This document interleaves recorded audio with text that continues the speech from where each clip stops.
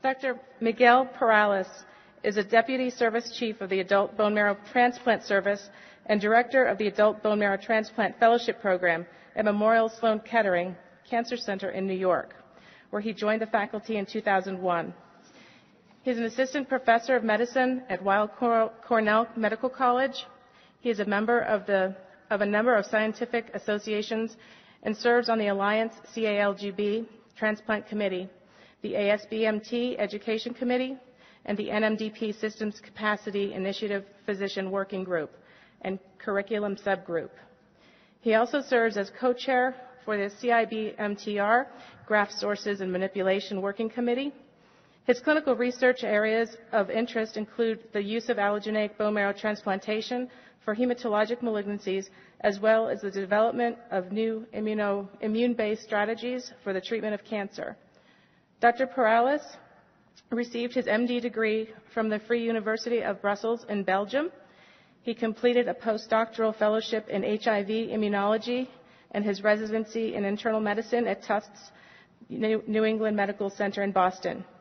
He also completed a fellowship in medical oncology at Memorial Sloan Kettering Cancer Center. He will be speaking today on early complications post-transplant. Please join me in welcoming Dr. Perales.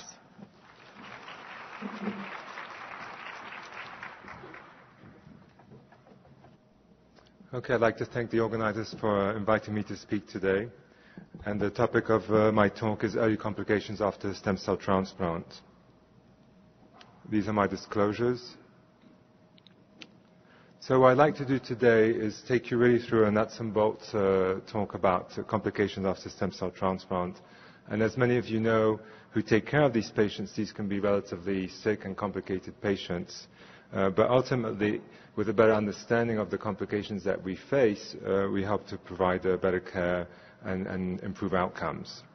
So what are some of the complications that we're going to focus on? We're going to look at uh, regimen toxicity, including mucositis and bleeding complications, complications such as engraftment syndrome, specific organ complications that are seen after transplant, and obviously spend quite some time talking about infections and management of the ICU patient. Uh, one area I won't touch on, which is a significant complication of transplant, at least allogeneic transplant, is graft versus host disease, but that's already been discussed in another venue. So first, let's get some idea about what is the mortality after transplant. This is CIBMTR data. This is 100-day mortality after autologous transplant. And then 100-day mortality is often uh, considered one of the main uh, time points in many uh, clinical studies.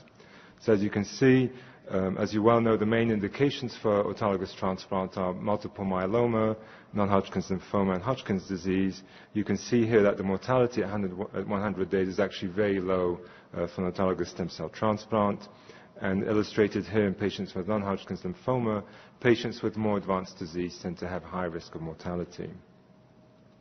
When we switch to uh, allogeneic transplant, where the main indications are patients with acute leukemia or myelodysplastic syndrome, you see that the mortality rates do increase. And again, we see this association between more advanced disease and a higher risk of mortality.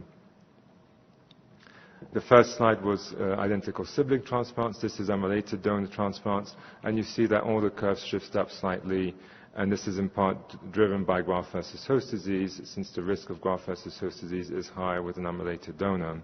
And some of it may also be the fact that patients take longer to be referred for transplant when we're doing a MUD transplant.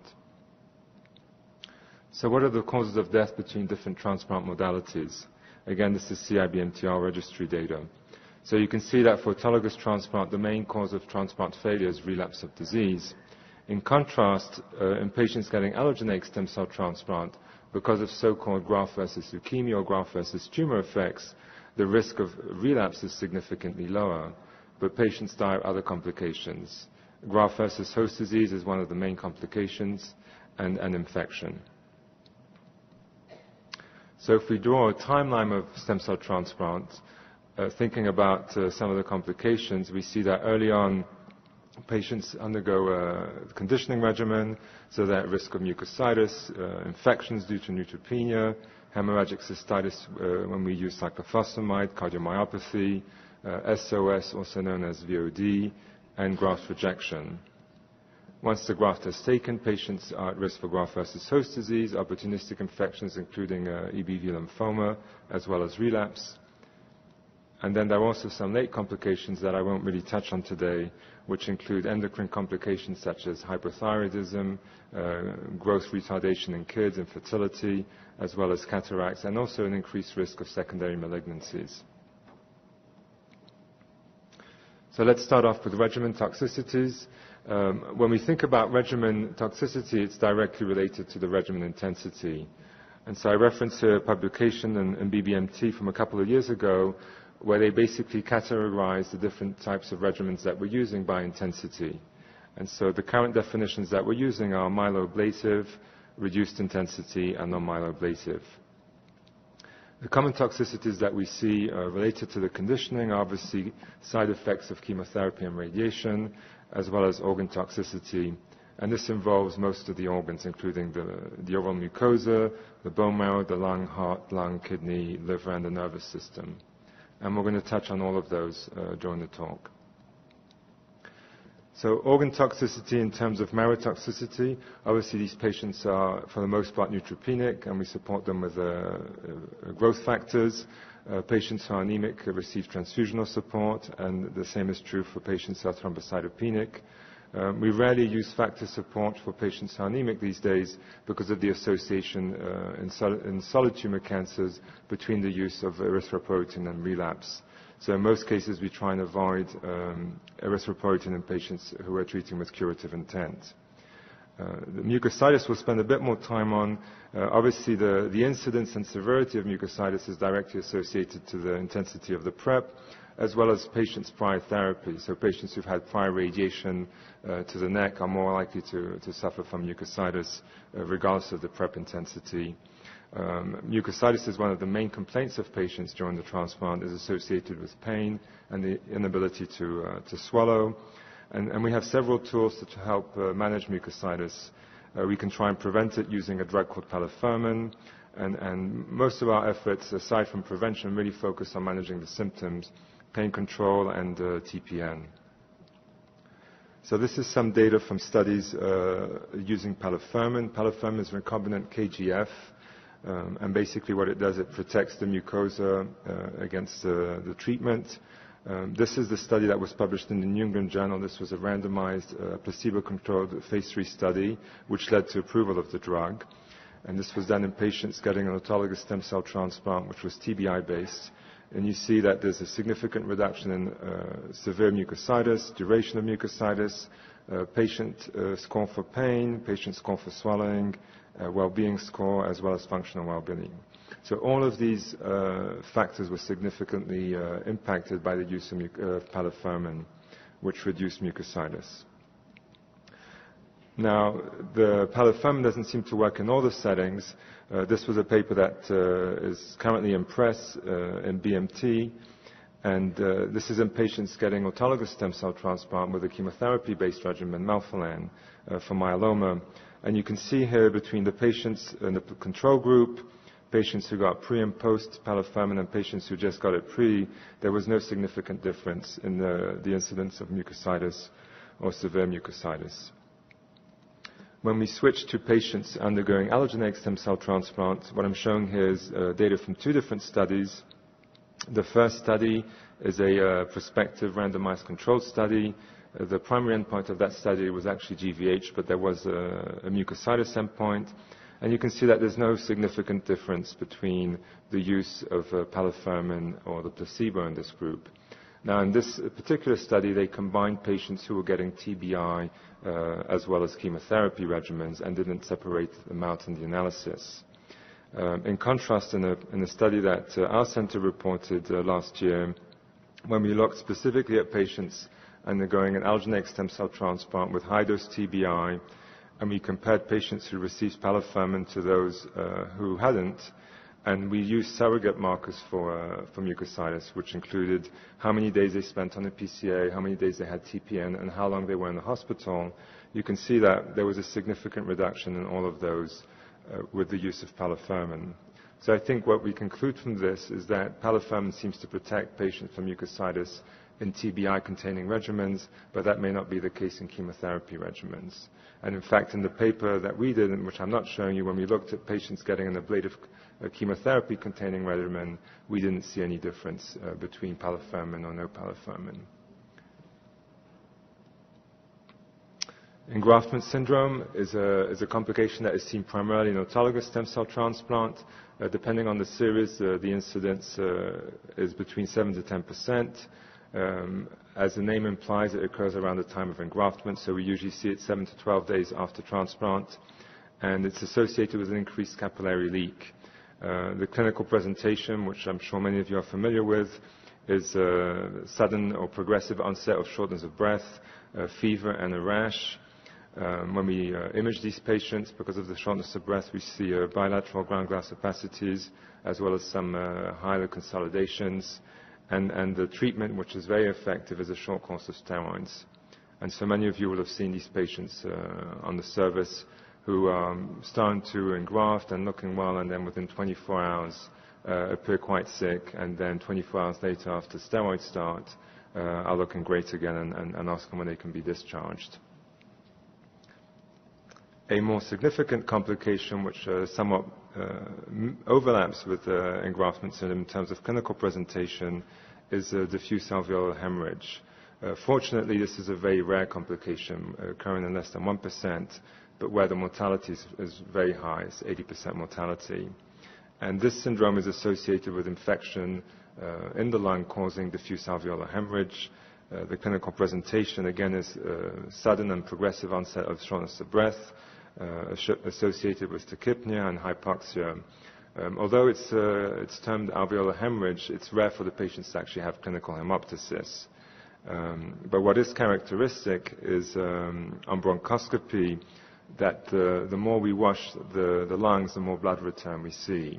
And so it's that increasing blood return on the BAL which is indicative of, of this diagnosis. Uh, these patients can get sick very quickly and, and, and rapidly deteriorate, end up in the ICU. And the treatment for this is high-dose steroids, as well as uh, transfusional support. And in refractory cases, uh, we have used recombinant human factor 7.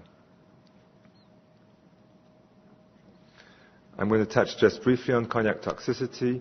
Obviously, one of the main issues there is to think about the patient's uh, prior cardiac history and as we transplant older patients, many of them come to us already with pre-existing coronary disease or cardiac arrhythmias, and many patients too have had complications from prior therapy such as anthracyclines. Um, so patients can have pre-existing cardiomyopathy or they can develop cardiomyopathy post-transplant related to specific drugs. Uh, arrhythmias again can be pre-existing or a result of uh, drugs that we're giving them during the transplant or electrolyte abnormalities. And then a very common uh, complication after transplant is hypertension uh, with the use of calcineurin inhibitors. Uh, renal toxicity, uh, more typically we see acute renal toxicity early after transplant. Common causes are ATN, complications related to drugs, in particular calcineurin inhibitors, amphotericin B, use of aminoglycosides, although that's probably decreasing at most centers. And then patients with uh, VOD can develop a, hepatorenal syndrome. And we'll talk more about that in a second. Uh, less common causes of, renal complications are tumor lysis syndrome. Uh, in general, most patients who are coming to transplant have a low burden of disease, and, and if they do have disease, uh, we prophylax them with allopurinol. So it would be unusual to see uh, tumor lysis, but it can happen. Uh, we do see TMA or thrombotic microangiopathy with the uses of calcineurin inhibitors. And we can also, in some cases, see um, hemolysis, which is due to ABO incompatibility. But usually that's known ahead of time, and so we, we can try and prophylax those patients with uh, hydration. Um, as you well know, in many cases, renal complications uh, are multifactorial. And the typical patient is the older patient who's on a calcineurin inhibitor, whose creatinine is already rising, might be diabetic, um, and then they go septic or they have an infection, they end up on AmBisome or some other nephrotoxic drug such as foscarnet. And, and managing these patients can be quite complicated, and, and often uh, calling the renal consultation service early is a good idea. So I want to spend a couple of slides talking about uh, hepatic sinusoidal obstruction syndrome, uh, or previously known as uh, veno-occlusive disease. This is really a, a transplant-specific uh, complication that uh, most commonly seen is, is, is, almost exclusively seen in transplant patients, although it can be seen in some patients getting chemotherapy. Uh, the typical triad is hepatomegaly with right upper quadrant pain. Patients have fluid retention, including ascites, and, and, typically progress to develop jaundice. Um, they also have significant weight gain. Um, they become refractory to platelet transfusions and develop a coagulopathy. The incidence of, uh, of SOS is somewhat hard to, uh, to appreciate from the literature. Uh, depending on the series, it's reported between 10 to 50 percent which is obviously a, a pretty wide range. Um, the, probably the clinically relevant incidence of VOD is probably less than 10%. Um, but if you use sophisticated testing on, systematically on all patients, you will get higher incidences. What is the pathophysiology for, uh, for SOS? It's, uh, as far as, we can understand, uh, based on, cur on uh, current uh, biology, it's caused by damage to the endothelial lining of the hepatic sinusoids, this leads to intrahepatic uh, thrombosis and hemostasis and central lobular hemorrhagic necrosis. So the pathologic picture is very different from what you would see in, in alcoholic cirrhosis. Um, this progresses then to portal vein obstruction and liver failure with coagulopathy, as well as a hyper, uh, hepatorenal syndrome. The risk factors for, for SOS include uh, any pre-existing liver condition, so any patient who has a prior history of hepatitis, uh, it uh, B or C or drug-induced hepatitis, uh, obviously patients with cirrhosis or patients with high levels of ferritin in the liver, patients receiving a second transplant or who are heavily pretreated with chemotherapy.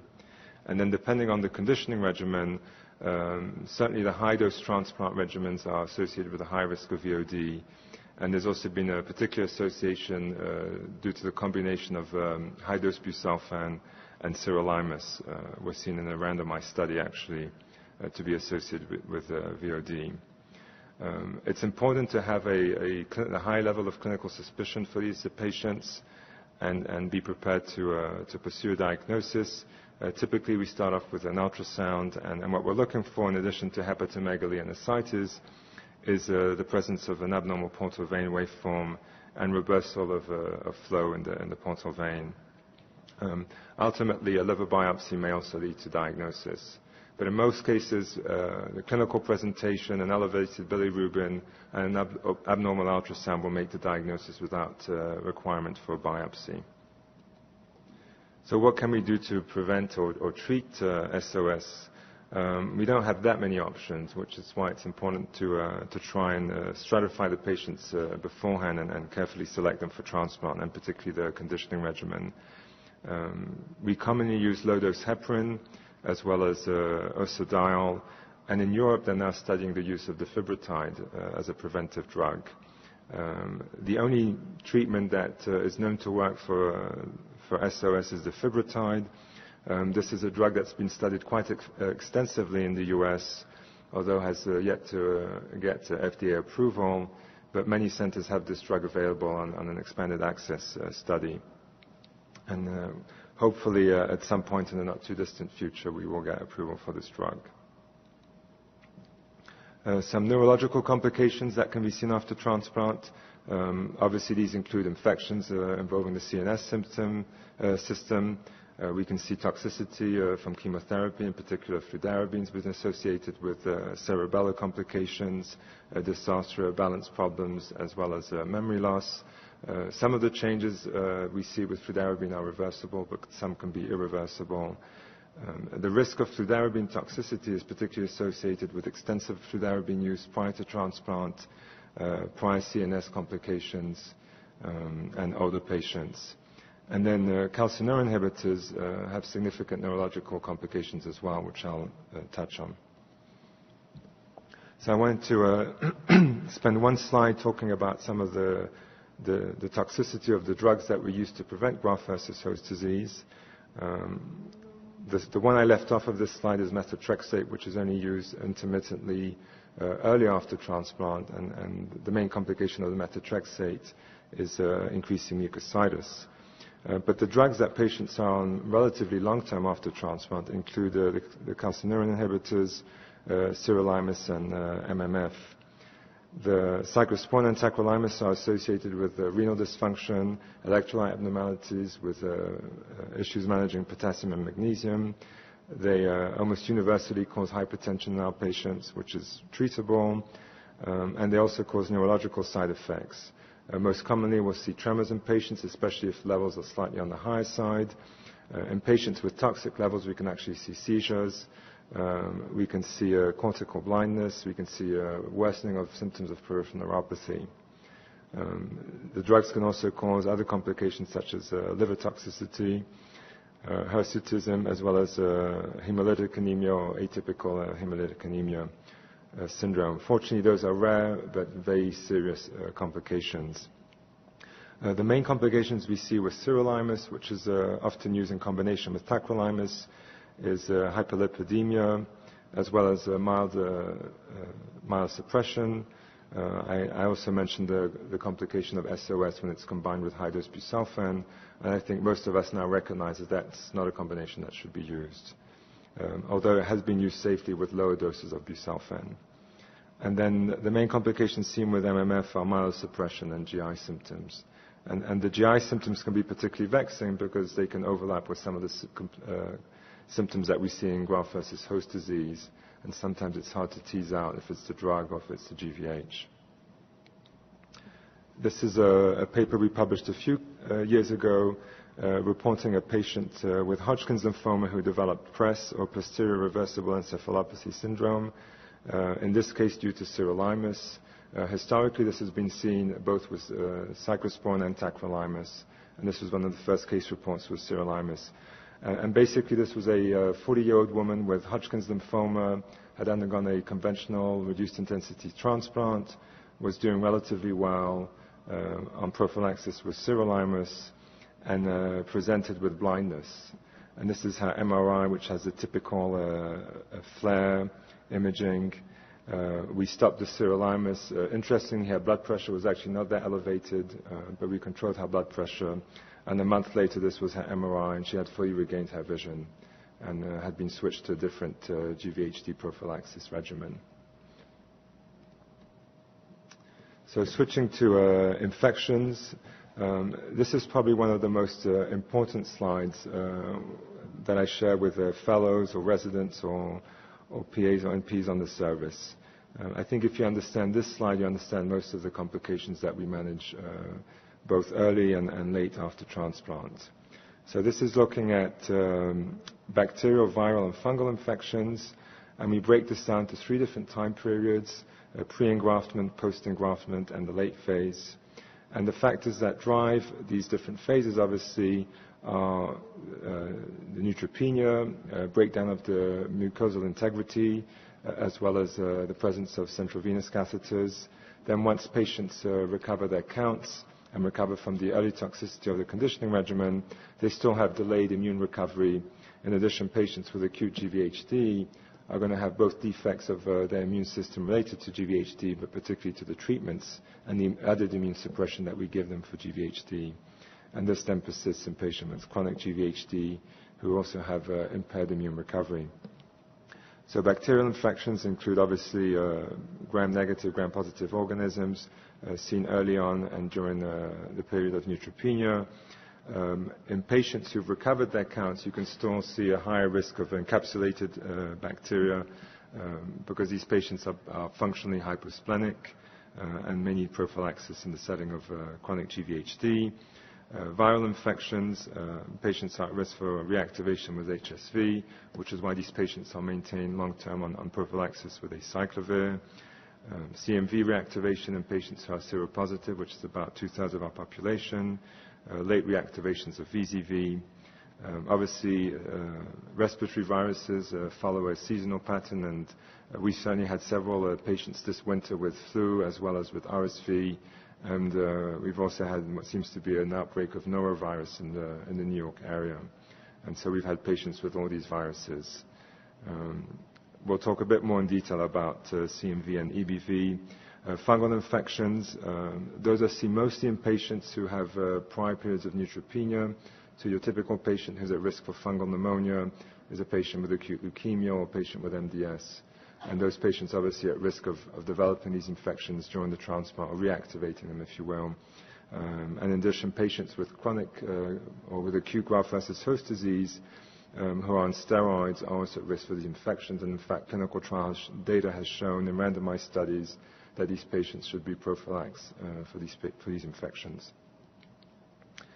So understanding the, types of infections you can get, I wanted to show you some data that looks at, uh, the immune recovery and the association with infections. So this is data from my colleague uh, Trudy Small. On the left, uh, she looks at children. On the right, uh, adult patients. And this is the CD4 recovery over time. You see here in, in sort of the shaded areas the normal CD4 count. And you can see already that the kids recover much faster than the adult patients, and that's because they have a thymus, whereas in, adult patients the thymus tends to involve.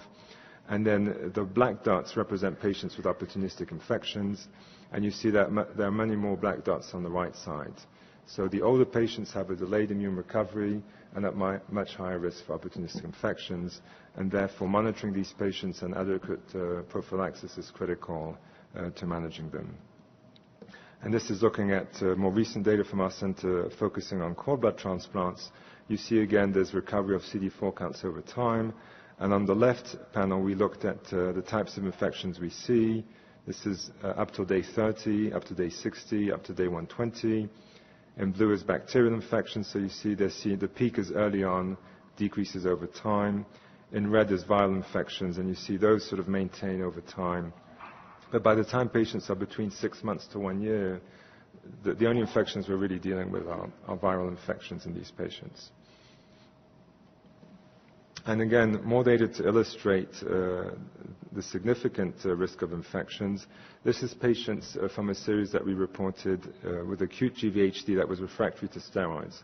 So these patients had failed first-line steroids and then got second-line therapy with a drug called daclizumab that targets activated T cells. And what we did in these 57 patients is document every single infectious event from the time of treatment and, and for six months period. And basically, out of 57 patients, 54 of them had a documented infection, and one patient had sepsis with no documented bug. So essentially, 96% of the patients had a serious life-threatening infection. And then we broke it down into bacterial only, fungal only, viral only, and then combined bacterial, fungal, and viral infections. So you see a third of the population in this series had both bacterial infections, fungal infections, and viral uh, infections. And these were all documented infections. So these are really sort of the highest risk patients that we have uh, because of the immune suppression. So we talked about this. Some of the risk factors for bacterial infections include neutropenia, and we mentioned the, the, common infections. I think it's always very important to work closely with the ID service and understand what your local pattern of resistance is and, and appropriately select antibiotics based on that pattern of resistance. Um, viral infections, we talked about uh, seasonal variations, and I want to focus uh, on some of the infections that can actually be transmitted from the donor. Um, a series of, this, uh, of, these infections are, are, viruses that we screen for in the donor, and these include CMV, EBV, HHV6, uh, hepatitis, HIV, HTLV1, and West Nile virus. And so it's obviously very important in the unrelated or related donor setting to appropriately screen your donors and, and select the donor based on these uh, exposures. So CMV is a, is a virus that, uh, although we've made a lot of improvements in managing CMV, we still have a ways to go. Um, in, in, the old days, as they say, the, the risk of reactivation uh, was 70 to 80 percent and uh, a third of the patients who developed uh, reactivation actually developed disease. And uh, before we had good drugs to manage CMV, one of the major causes of death in the first three months was interstitial pneumonia, and half of those patients died of CMV. So fortunately, uh, we've made improvements since then. What are the risk factors for, for CMV reactivation? The primary risk factor is patient uh, seropositive status. So it's really the patient CMV which is reactivating. In an allogeneic transplant, where the patient is seronegative and the donor is positive, the rate of transfer from a positive donor to a negative patient is probably in the order of 20 to 30 percent. Um, other risk factors include uh, T cell depletion, Uh, as well as patients who are cord blood recipients and, and graft versus host disease. So how do we manage CMV? The, the current strategy is based on preemptive treatment, which means that we basically do weekly or biweekly testing by PCR, uh, looking for the presence of CMV viremia, and we treat them based on viremia. So we treat them before they actually develop disease. The drugs that we use commonly are valganciclovir, valganciclovir, or foscarnet. There are other drugs that are being developed, including maribavir and uh, CMX001, which is a liposomal formulation of, um, of cidofovir. EBV PTLD, or post-transplant lymphoproliferative disease, is another viral complication. Um, basically, this is an instance where the Epstein-Barr virus uh, transforms B cells and causes a proliferation of B cells, uh, which presents uh, clinically like a high-grade lymphoma. Um, and it's, it's, really a transformation of donor-derived B cells in the absence of, of, an immune response to control this. Um, this is what it looks like under the microscope. It's basically a, a large cell lymphoma. And you can see that when we stain it for EBV, many of the large cells are positive for the, for the virus. This, this type of lymphoma is different from a typical large cell lymphoma in the sense that it doesn't respond to chemotherapy or even radiation. Uh, the, most commonly used therapy is rituximab, which is an anti-CD20 antibody, which is actually very effective. Uh, we can also use donor-leukocyte infu- infusions, where we're basically giving cells from the, from the donor. And uh, increasingly, we're developing EBV-specific T cells to treat these patients. Um, adenovirus is something that's seen more typically in kids. Uh, the, incidence of disease is actually quite rare, and the risk factors are similar to, CMV. Um, it can cause a, series of different uh, clinical syndromes, um, and the treatment, unfortunately, right now, the only treatment we have is cidofovir, which is quite toxic. And so we're hopeful that uh, the CMX will provide better therapy. So viral-specific T cells, I'm not sure if you went to uh, some of the sessions uh, at the meeting where Kath Bollard presented, or actually this morning there was another speaker who talked about these virus-specific T cells. So many groups are now developing T cells specific for uh, viral infections, um, and this can also be used in the third-party setting, meaning you have cells from a donor that are stored in the freezer, and then you have a patient who has the disease, who may not have a donor, such as a cord blood recipient in this study, and you can give them uh, these T cells. So this is a young man that we treated who had AML, who was a cord blood recipient, so there was no donor cells available. Uh, he developed an EBV in the gut, which is seen here on PET scan. He failed rituximab. We gave him uh, third-party T cells, and he basically cleared his virus uh, here in red, and also cleared his PET scan, and is actually doing well uh, a few years out. Um, fungal infections. I think for the sake of time, we'll just uh, move, look at some of the data. Um, it's currently accepted as standard of care that patients should be prophylaxed. So this is data from Kieren Marr looking at the incidence of candidemia. You can see in white is the, the risk of candidemia pre-prophylaxis and in black is post-prophylaxis. So significant reduction in the incidence of candidemia from 11 to uh, just under 5 percent but uh, since they were using fluconazole, a high incidence of, uh, of non-candida albicans, which is resistant to fluconazole. And what we've seen over time is an increase in aspergillus, uh, particularly in the allotransplant setting. So these are the NCCN guidelines, which are available on the website, which give recommendations in terms of prophylaxis um, for um, patients undergoing stem cell transplant. Um, PCP or PJP, uh, prophylaxis is standard, and we commonly use either aerosolized pentamidine, Bactrim, or Dapsone, and usually until the CD4 count reaches uh, 200. And then toxo is also a, rare but uh, significant complication that can be fatal. And again, we monitor these patients with PCR, and we give them standard prophylaxis with Bactrim or Atovaquone. We'll skip that. Um, there's much more detail uh, that have been published in the guidelines and the ASBMT on infections, both prevention and management. And just a, a couple of slides on ICU management. Obviously, this is a multidisciplinary effort to treat these sick uh, patients. Uh, I just wanted to share some of the data with you. This is outcomes for autologous stem cell transplant. Uh, 1,000 patients transplanted, 34 ICU admissions, so an incidence of only 3%. 13 of the 34 patients died, so the overall mortality was 1%. So again, mortality in autologous transplant extremely low, but still mortality in patients who go to the ICU. This is uh, data for allogeneic stem cell transplants from a French series, and you see that patients who end up getting mechanical ventilation um, have a significantly lower um, survival than patients who go to the ICU but don't require mechanical ventilation. Uh, we do have prognostic tools to try and risk stratify these patients, and this is uh, data from a Sorror paper in Blood, which basically shows that the risk of complications, non-relapse mortality, and the likelihood of survival immediately correlate with these comorbidity index uh, scores.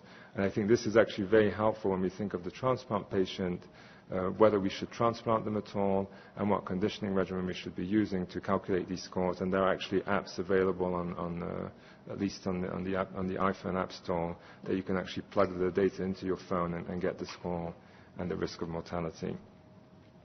But I wanted to finish on a positive note, which is the, the one-year survival after ablative conditioning for patients uh, in acute leukemia remission. And you can see this is over time, so going back to the early 90s until a few years ago, and you see that we are doing better both in uh, matched sibling transplants and unrelated donor sibling transplants. And in fact, these curves are starting to come together. And, obviously, there are many reasons behind that, uh, including better HLA typing, donor selection, patient selection, and supportive care. But I think we are, we are making significant improvements in this direction. And so I will uh, close with that and be happy to take questions.